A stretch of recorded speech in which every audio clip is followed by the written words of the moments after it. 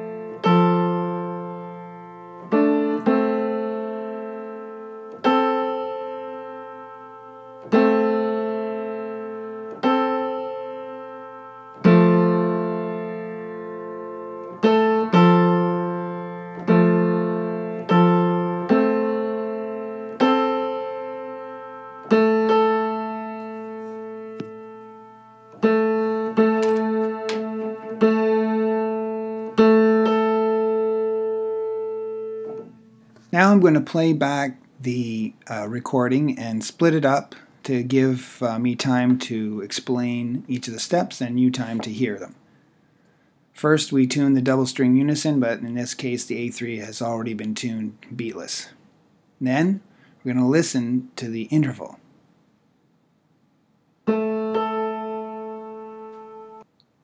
Now that interval was beating. When I play that interval I have to remember and burn in the beat speed. Here it is again. One more time. Now uh, we're going to play the double string unison, take one string, detune it so that it matches that speed that we just heard from the out of tune octave. Now that's how fast I did it the, when I tuned it. Well, let's listen again. That beat speed matches the octave. Now we bring the other string, the second string, the one we didn't move, now we move that one up so that it's a clean unison. Now we recheck the interval. Still doesn't sound clean, so we're going to check it with uh, the 4-2 test. That's dirty, we have to clean it up. That's too fast, we have to raise the F3.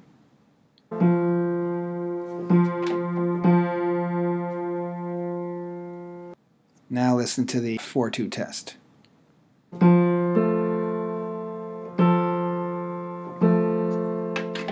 Narrow, so we're going to lower eighth. Listen again, 4-2. It's wide, 4-2.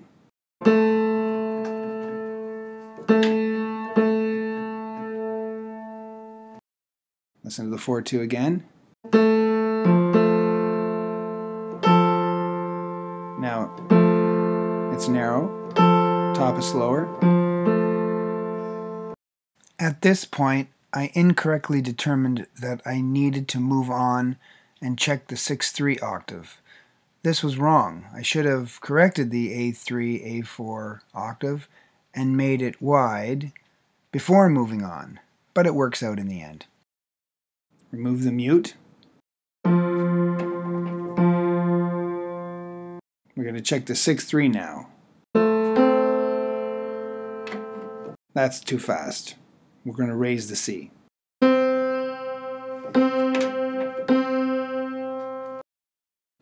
Now check the 6-3. Top is slower.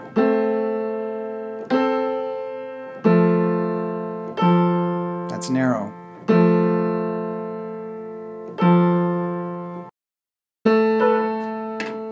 And the octave isn't clean.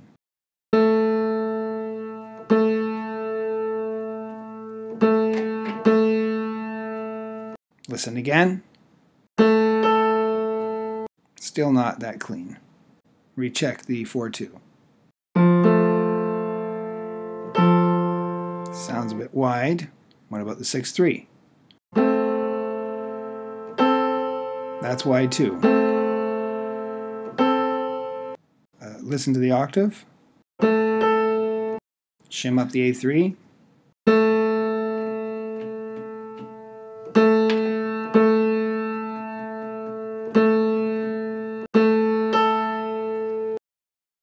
The octave is pretty good.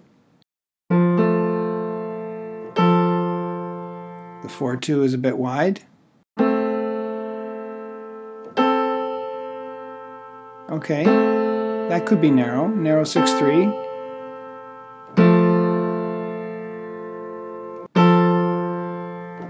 Wide 4-2, narrow 6-3.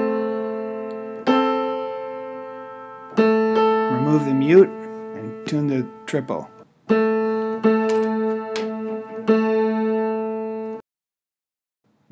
Have a clean beatless octave of six strings.